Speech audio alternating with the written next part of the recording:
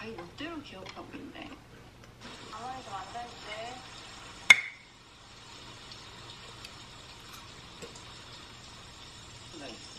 대기 불안정. 대기가 급격하게 불안정해져서 피리로 인해서 부분이 갑자기 발생. 이 상황에서 그런 얘기를 하고 싶냐? 사람 피곤하게.